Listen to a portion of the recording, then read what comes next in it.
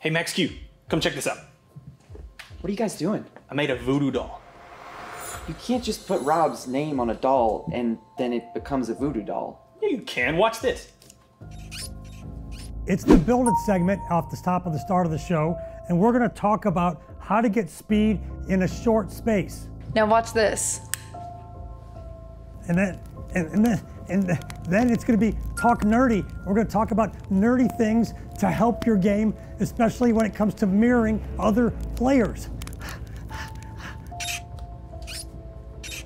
And we've got the Keep It Simple Strano segment where I will keep it simple to help your game. And then we'll come back with Rob's Right, where I'll tell you something I'm right about to help your game.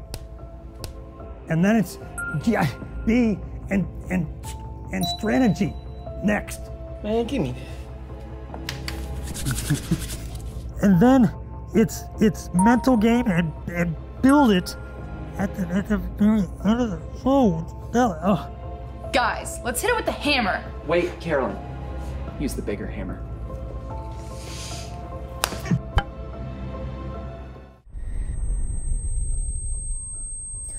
Ah, okay. Yeah, we're gonna finish with time to rise. Are you ready out there? Because it's time to build here in the Golf Kingdom. Welcome to the number one golf variety show in the world, the Golf Kingdom.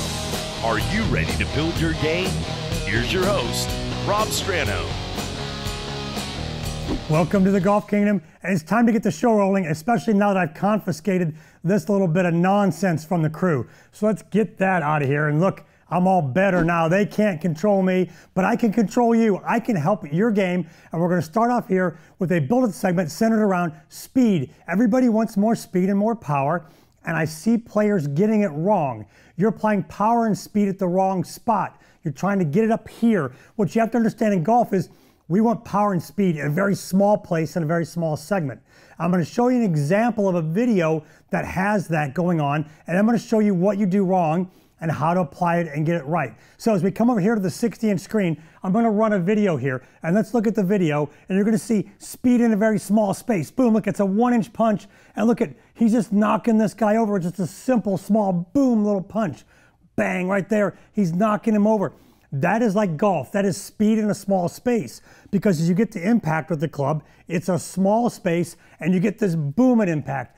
But I see players doing it wrong and applying the speed at the wrong time in the wrong place. Let's come back over here now and let's talk about the fix for this. How do we get speed in the right spot? And let me show you what I see happening wrong. So impact bags, I've just got a backpack here.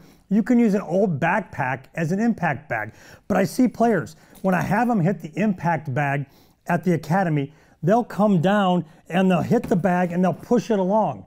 They just knock it over there like that they aren't really popping the bag for speed.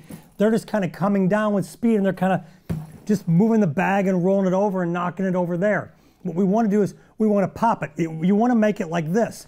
You ever snap someone with a towel? We want to snap someone with a towel. Bang, like that. That's speed in a small spot. It's this moving pow, pow, pow. So you kind of wet the end of this towel and you can really get some snap on it. So the question is, how do you get the same snap in golf like you get with a towel with the golf club? Let me show you what I mean. So I bring my little backpack back here. And like I said, you don't need to spend money on an impact bag. You can just buy a little backpack. Take your club, flip it upside down. When I pop this bag, I am popping it with the, with the, with the club in a very short space here. And see how I'm popping it? And it's not getting rolled over. It's not just going 10 feet away. So once again, the wrong one is you hit it and roll the bag over and move it way over there.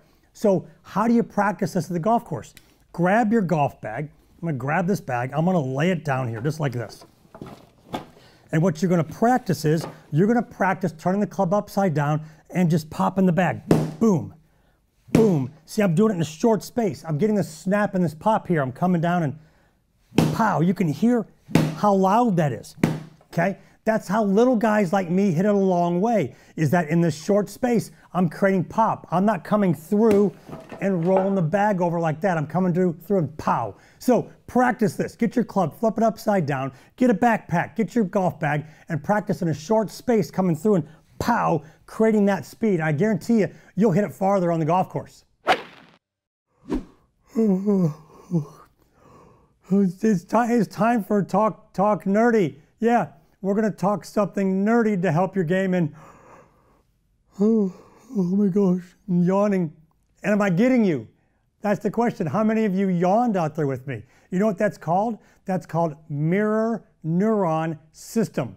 When someone yawns and you yawn back, you're mirroring them and your neurons are catching them yawning and you're yawning with, with them. And the interesting thing is the closer the person is to you, not space, but as in relationship wise, the more likely you are to mirror, mirror neuron system them. Now, the question is mirror, mirror neuron system. That's harder to say than you think. How does that help your game? How does mirroring help your game? This nerdy thing we do of, okay?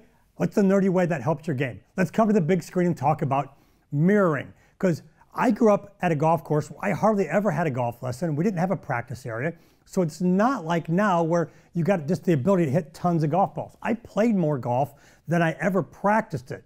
And I grew up with four tour players at my course Bob Goalby, Jay Haas, Jerry Haas, Frank Connor. And I mirrored them. So much like this mirror yawning thing makes you yawn, I would watch them and I would mirror what they do.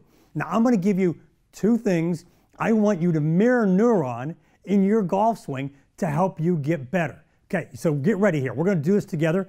I'm going to put the golf club away to start with because I don't want you to have a club to do this. I want you to simply be able to mirror me or get up in front of your mirror and look in the mirror and do this perfectly. Number one thing, here we go. We're going to mirror neuron. Get in your setup with me at home. Everybody up off your couch.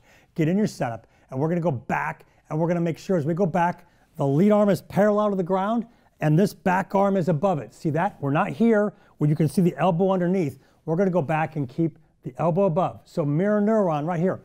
Boom, boom. Not here, not there. Now grab a golf club. Same thing. We're going to try to keep the trail arm above the lead arm.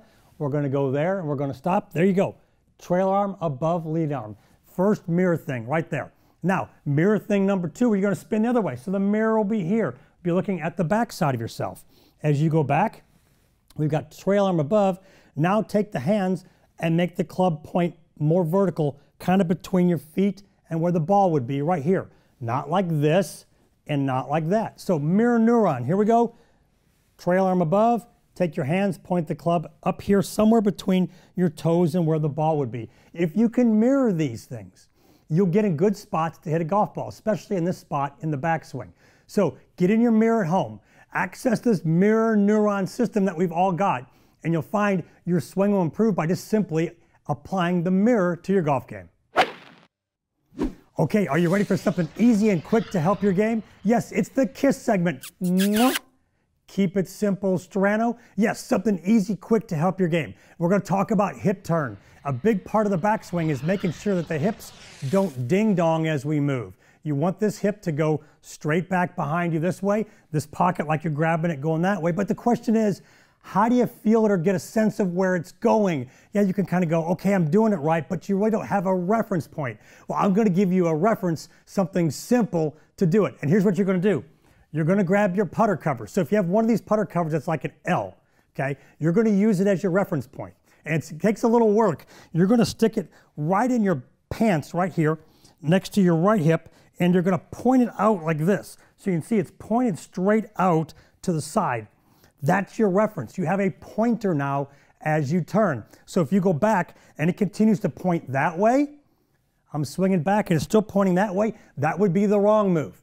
This is where the kiss drill comes in. Ready? Here's where it's going to get simple. You're going to take this right here and point it over there behind you. So as you swing, make the head cover point back over there. See, it's pointed that way. I'm doing it correctly. I am not pointing it still this way. This hip is actually turned this way and the head cover is pointed there. You can see it from this angle as I swing back. I'm not pointing it at the camera. I'm not pointing it at you at home. I'm pointing it back here. Here you go. It's going back that way. Very important. You've got a reference point. Use your head cover, something you've got. This way you can figure out where this hip is pointed. Now, stay tuned. We got some more awesome stuff coming up for you here in the Golf Kingdom, faster than one swing and one putt.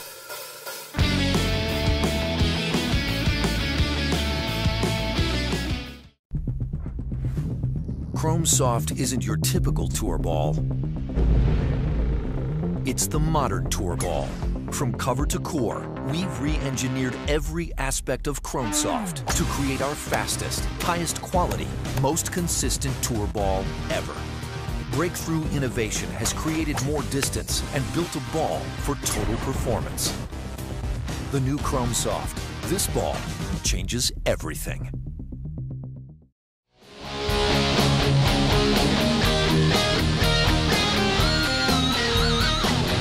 Well, if I'm going backwards, that must mean we are back to the Golf Kingdom. Thanks for joining us for another great show to help your golf game. And it's one of my favorite segments because it involves you guys, my students. You're the star here because in a lesson, you know what I've heard? I've heard this.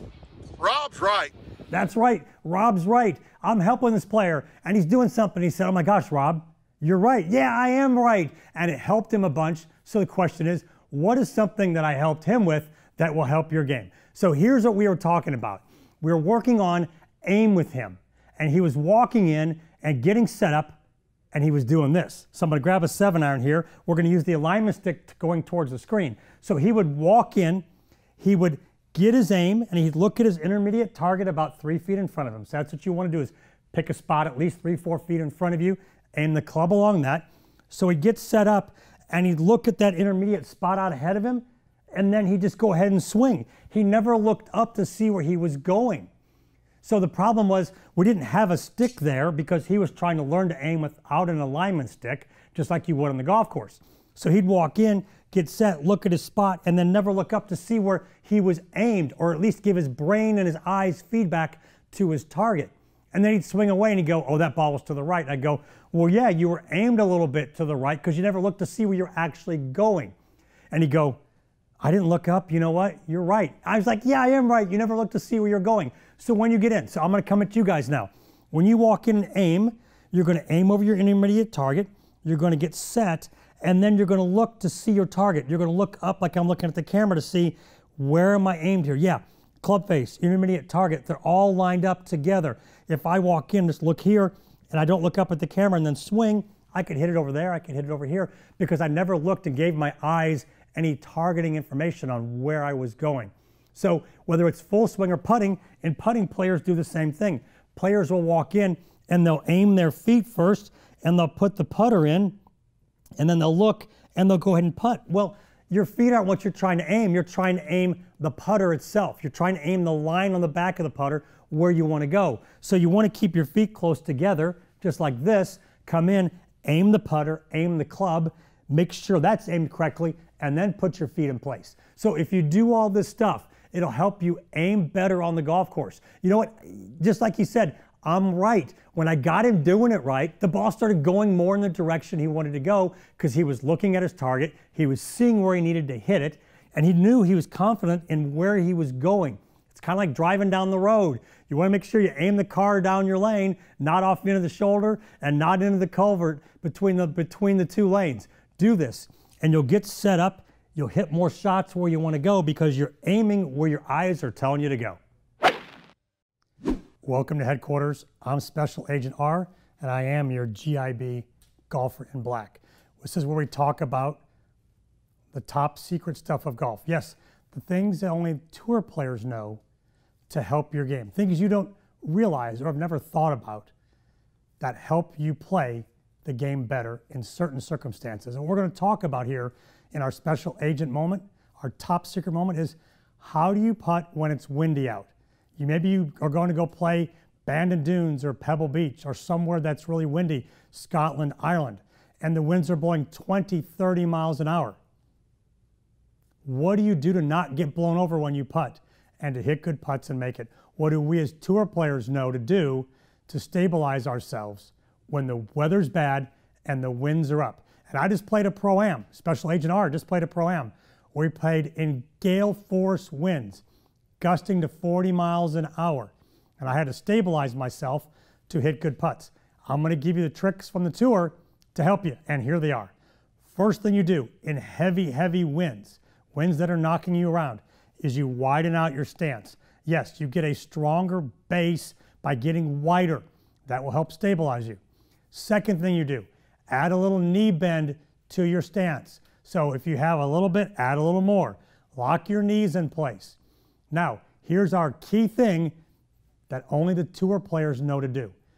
We are wider, our knees are bent more. Now we're going to squeeze our quads, our glutes, which is your rear end, your buttocks, as Forrest Gump would say. So glutes, rear end, core. You're going to squeeze them tight. See, I'm squeezing them tight. I can barely talk here. It's hard to talk as Special Agent R when I've got my, my muscles contracting, quads, glutes, abs. Squeeze them tight. That is called your core. That will lock you down and hold you in place. So when the wind is pounding, if you squeeze, squeeze, squeeze, get wider, lock your knees and legs in place, the wind won't bounce you around. And then the other thing to remember is if you're hit by a gust of wind, back off. When the gust stops, you have 30 seconds till the next gust. So use these key things, these top secret things. I am your golfer in black, Special Agent R. Use these and they'll help you putt better in bad conditions. Okay, I'm your golf general. I'm General Rob. We are here to talk strategy, or in our case, Stranogy on the course to improve your game. Because it's very important. Golf's a game of strategy. It's about making decisions and doing smart things on the course. And remember, without a plan, there is no attack. Without attack, there is no victory. And we won't have victory when you get done looking at the scorecard. We're going to talk about something very famous today in the game of golf that most people don't know about. I'm going to bring up a quote here and we're going to talk about it. So let's look at the quote. Here comes the quote. It's simple, he explained. I've mapped out every course on tour, starting from the middle of the greens and working back to the tees. I make note of the 150 yard mark in the middle of the fairway and I try to hit every driver second shot there. So I always have a seven iron in. And over the years, I've gotten pretty handy with the seven iron. Now, who is that? That's PGA Tour legend and major championship winner Billy Casper. He used to play to his seven iron. He loved his seven iron. He practiced with it all the time. He got really, really good at it. So this is back before we had lasers and yardage books. We had like discs in the middle of the fairway that said you were 150 yards or 150 yard bush or 150 yard pole. These little markers said you're around 150 the hole. Never were exact, but you were in that vicinity. And he always played to that yardage. So, do you have a favorite club? Is my question. Maybe it's your nine iron. Maybe it's a wedge. Maybe it's your seven iron or six iron. Oh my gosh, I just lost my rank. I'm losing rank as I go here. So, here's the question I've got for you What's your favorite club? Give me the answer. Okay, so let's say your favorite club is the nine iron. I'm going to take you to my home course, uh, St. Clair Country Club, where I grew up in Belleville, Illinois. I'm going to take you through how I would play that course to play to a nine iron length in every hole. If it's your favorite club, maybe we should play to it instead of hitting driver on every hole. And maybe your favorite club is not your nine iron. Maybe you don't like your sand wedge from the fairway, but you keep hitting it to where you've got sand wedges in. Let's go to the overhead view of the golf course. Now, here's the home court, my home course. The first hole goes right here. I can simply hit a three wood to the bottom of the hill, and it's a nine iron on the green. Number two is a par three, not a nine iron. Number three, I can hit driver nine iron in there. I'm good. Four is a par five. If I lay up at the top of the hill, it's a nine iron in. Then we've got a, a short par four. I really can't hit nine iron there. Then we've got a long kind of par five here. I can always lay up to nine iron length. Seven comes down. I go to the top of the hill instead of drive hitting driver. I hit maybe a three iron or four iron to the top of the hill. It's a nine iron in. Number eight right here is a short par four. I can hit driver down there 60 or 70, but I could also hit maybe a long iron or hybrid off the tee and have a nine iron into the green. You seeing how this works? Number nine is a par three. It's kind of a nine iron. And as I go around the backside, 15 is a par five here with a big hill in front of the green.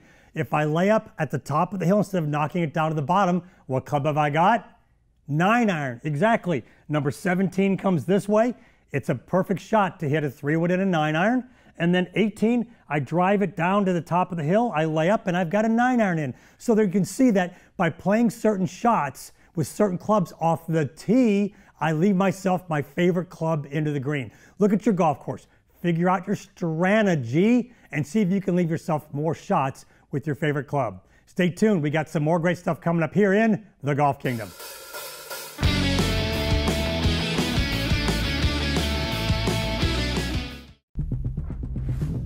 Chrome Soft isn't your typical tour ball.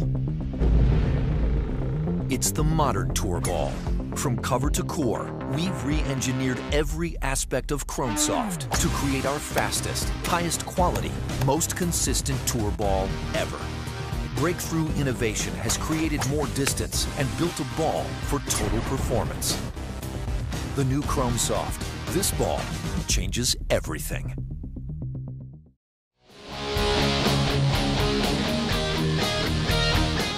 Okay, let's get mental here for all you mental players out there that are mental basket cases. I'm going to help you with your mental game. I've got the Cerebro helmet on. I'm going to put my earpiece in and get connected with you.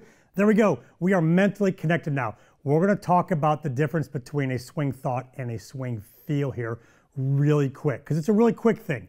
A swing thought is just a thought. It only goes to here. This is your head. It's something you're thinking. A swing thought goes to right here, and that's all.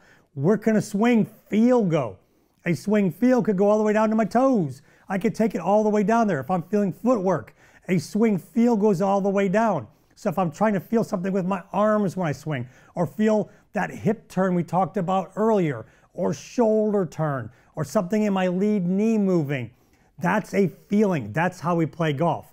We get out of the left prefrontal cortex part of our brain and get over on the right side of our brain where all the power is and all the feel is. That's what we want. We want to get in these right spots when we swing, and it comes about via feelings, not thoughts. So keep in mind, you have a swing thought. You think about something you want to work on, or your coach tells you something you work on, and then you convert that thought to a feeling. Everybody's a field player. You might say you're analytical, you might say you need to think about it, but in the end, it's got to be converted to a swing feel. And if you can get a feel for your swing, you'll stop being a mental basket case on the golf course. Boy, it's a bonus build it segment. Yeah, what a great golf kingdom. You're getting two build it segments to help your game. I know how much you love to build your game here in the Golf Kingdom. And we're going to talk about the finish of your swing. It's really important because remember, you're trying to hit a specific tiny spot on the club face. And if you're swinging and you're wobbling around when you're done, maybe you finish swinging and you finished in a different spot. You finished way back here and the ball was there. That's not good. Maybe you swing and you wobble forward like this. That's not good either. Because remember, the ball is not moving and we are trying to hit a very tiny, tiny spot on the face. Now, this drill is a tasty, fun one if you pick the right thing to help your game, but it'll also help your finish, and you can do it at home. You don't have to practice it only at the golf course, because I know sometimes you viewers, you can't get to the golf course, maybe because of weather or work. Here's what you're gonna do. Grab a golf club, set up, swing to a finish, and think of your favorite little tasty sweet treat. Cupcake. Okay, so I'm gonna swing through, I'm gonna go cupcake, one, two, three, and stay there. So it'll look like this. Here we go. Cupcake. One, two, three. Hang on. Cupcake. One, two, three, four. Mm.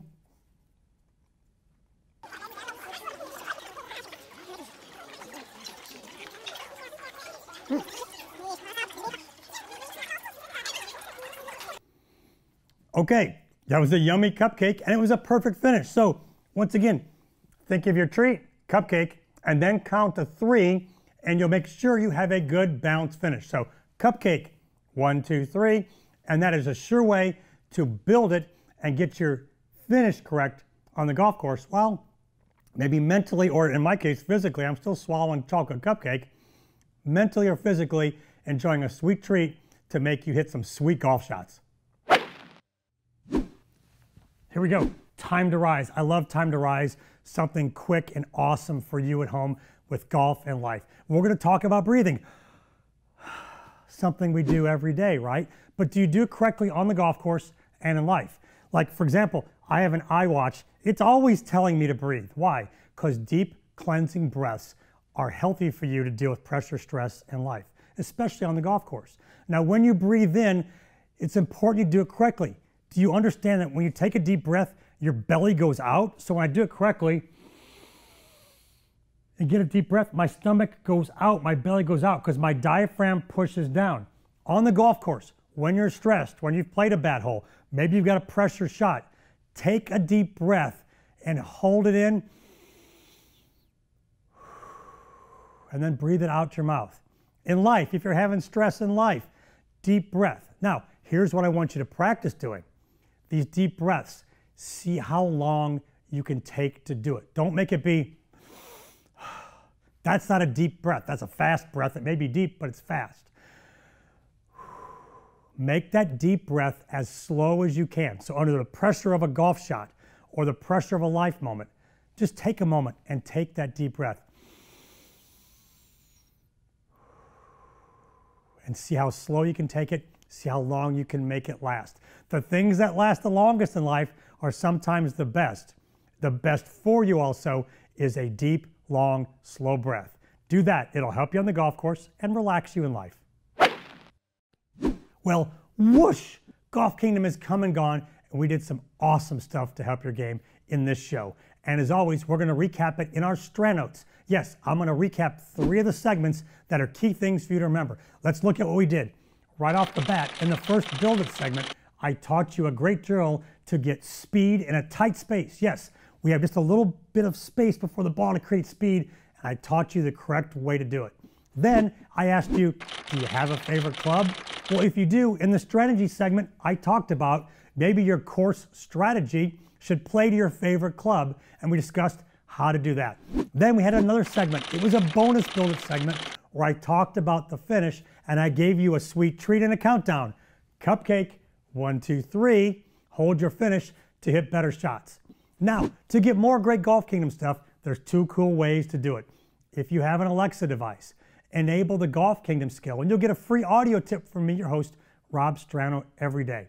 Also, download the Golf Kingdom app for your game. Yes, we have a free app out there. All the shows are there, all the segments are there, and there's something daily from me, your host, Rob Strano, to help your game, where I give you motivational stuff, more tips. So go to your app store and download the Golf Kingdom app to get all kinds of fun stuff, even stuff from behind the scenes here in the studio when we film to help your game. Thanks for joining me here in the Golf Kingdom.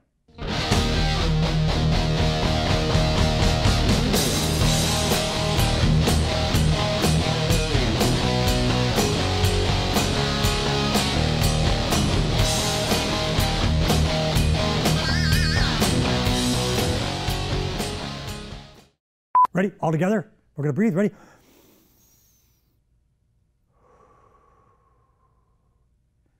Namaste.